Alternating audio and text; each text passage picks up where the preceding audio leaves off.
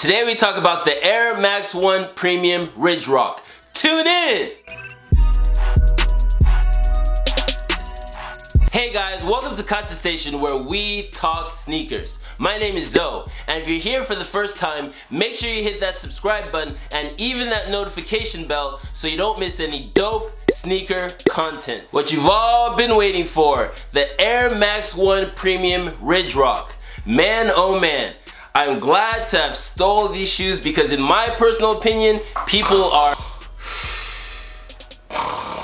sleeping or slept on these sneakers right here. Let's get straight up into the review, guys. So this is your classic Air Max 1 silhouette. We know this already, so get to the good stuff. But it comes with quality premium materials in the sense that it has tumble leather yes tumble leather here at the toe and also at the heel and it also has a really nice fine smooth suede on the side panels of the sneaker in addition to the leather and the suede that you'll find on the sneaker, you'll also see that at the toe box right here, there's a really fine, good quality mesh there, and it's really nice in my personal opinion as well. So another reason why I ended up purchasing this particular Air Max 1 was the color combination that came with the sneaker. As you can see, it has a bunch of neutral colors in the tan and brown colorways, but it has the perfect pop of color when it comes to this what they're calling a turbo green which kind of looks like a turquoise color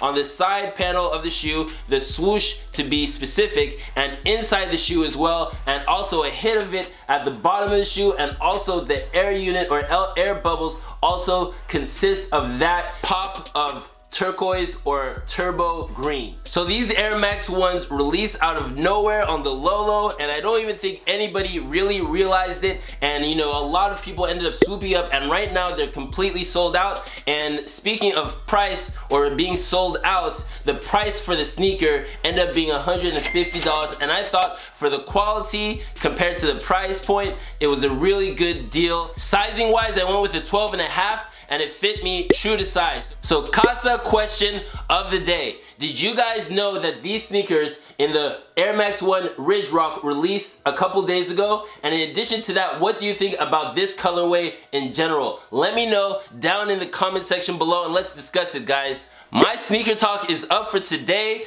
Please make sure to like, comment, share, and subscribe. I really appreciate all of you guys for watching my video and check out my other videos when you have the opportunity. Anyways, I'll see you all on the next episode of Casa Station. Deuces.